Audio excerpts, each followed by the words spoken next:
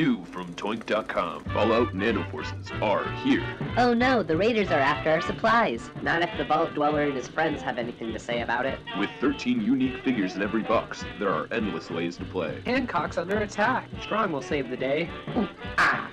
Strong want milk of kindness. Every set includes one jumbo figure. Watch out for that Deathclaw. Not to worry, here comes Liberty Prime to fight for our rights. Democracy is the essence of good.